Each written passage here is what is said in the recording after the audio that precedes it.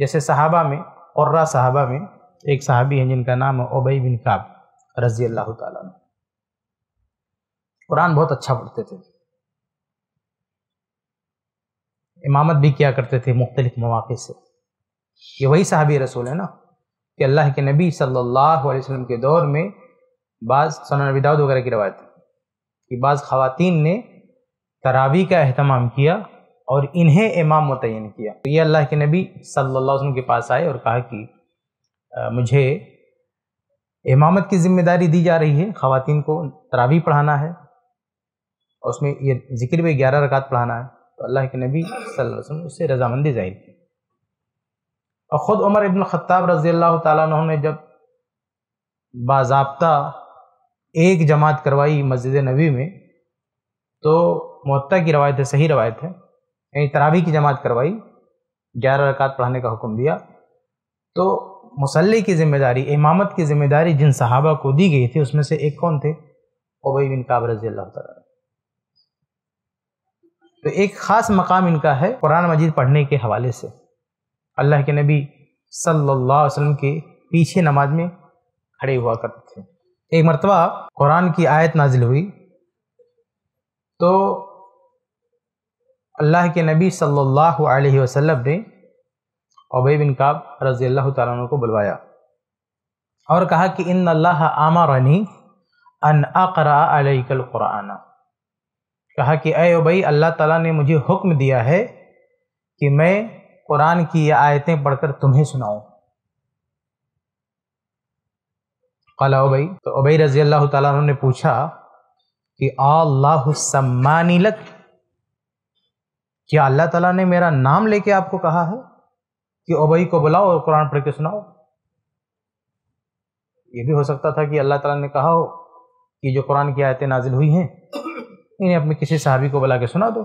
اتفاق سے مجھے بلا لیا گیا۔ اس لیے انہوں نے کنفرم کیا کہ اے نبی، آپ یہ بتائیں، کیا آسمان سے یہ حکم ہوا ہے؟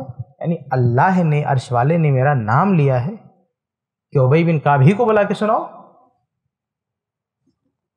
تو اللہ کے نبی صلی اللہ علیہ وسلم فرمایا کہ اللہ سما کا لی ہاں اللہ تعالیٰ نے تمہارا نام لے کے کہا ہے کہ اوبئی کو بلاؤ اور یہ آیتیں پڑھ کے سناؤ۔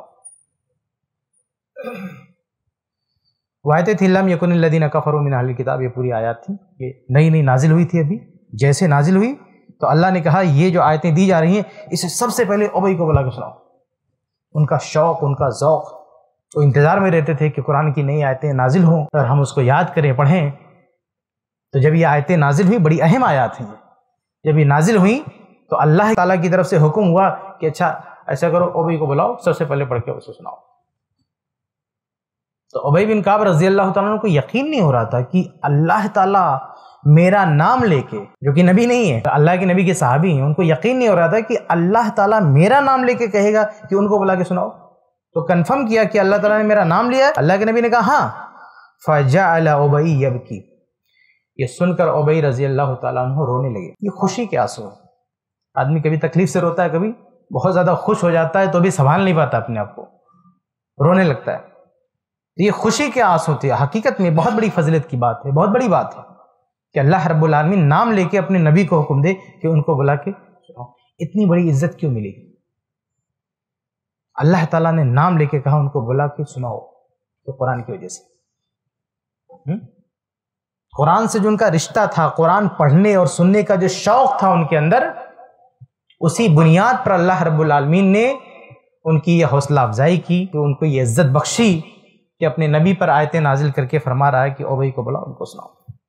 ایسے ہی فائدے مند اسلامک ویڈیوز دیکھنے اور منہج سلف پر کتاب و سنت کی تعلیمات کو عام کرنے میں ہمارا تعاون کرے تاکہ آپ کے لیے ذریعہ نجات جنت کے حصول کا سبب، ساتھ ہی مال میں برکت و اضافے کا ذریعہ بھی بنے۔ آمین۔ جزاک اللہ خیرن